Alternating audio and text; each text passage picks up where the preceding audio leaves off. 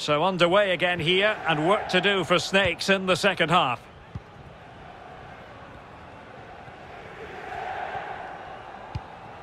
Holland.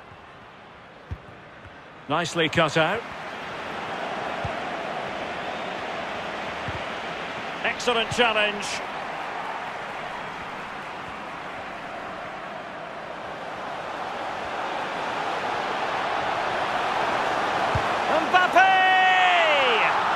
It's in. They're looking really relaxed and confident and not giving the opposition much of a look in. Well, this is worth another look, Derek. Lovely movement and guile to easily evade the defender. And then through on goal, you never really had any doubt he was